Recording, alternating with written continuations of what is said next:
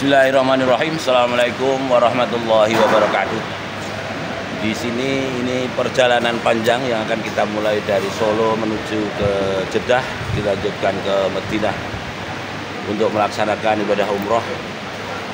Dengan Bismillah niat yang kuat kita bersama-sama akan melaksanakan ibadah umroh.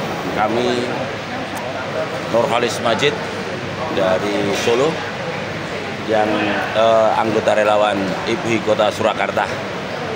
Bismillahirrahmanirrahim. Marilah kita bersama-sama kuatkan niat untuk kita tegakkan tauhid di hati kita masing-masing. Berbuat banyak untuk orang lain karena khairun nas anfa'uhum linas. Terima kasih. Selamat pagi.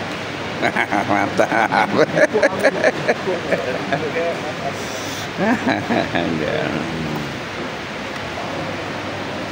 Demikian motivasi dari Bapak Nurholis Majid ya, ya seorang pengusaha memotivasi kita semuanya dengan semangat ya.